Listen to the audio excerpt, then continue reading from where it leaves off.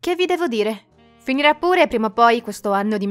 Anche le celebrità non ne possono più, compreso Alessandro Borghese, che ha rilasciato un'intervista per parlare di una spiacevole vicenda che lo vede coinvolto. È indagato per fatture false. In un'intervista rilasciata al Corriere della Sera, il noto chef e presentatore di quattro ristoranti ha raccontato come abbia ricevuto un avviso di garanzia in merito a un fatto ancora poco chiaro di fatture false.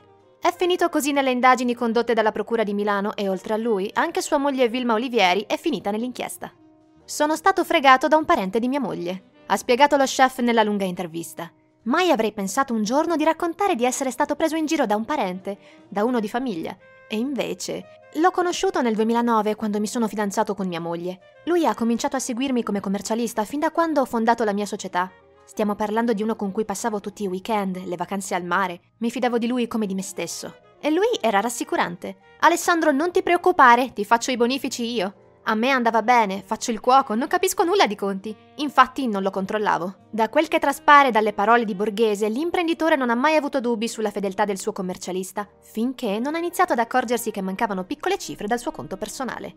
Ma non avrebbe mai potuto immaginare che fosse tutta colpa proprio del suo contabile, nonché familiare. Non si controlla la propria famiglia. Non ti siedi a tavola pensando di avere tuo fratello e ti ritrovi Giuda. Poi, durante il lockdown, con tempo a disposizione e sospetto crescente, ho capito che si stava fregando i miei soldi.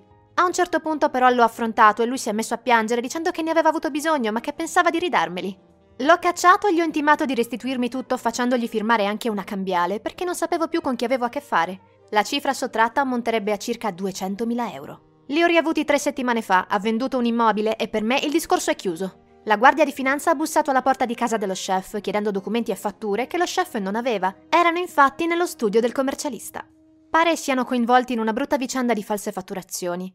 Spero che le indagini puntino a capire se io ne sapessi qualcosa, ma ero completamente all'oscuro e lo dimostrerò.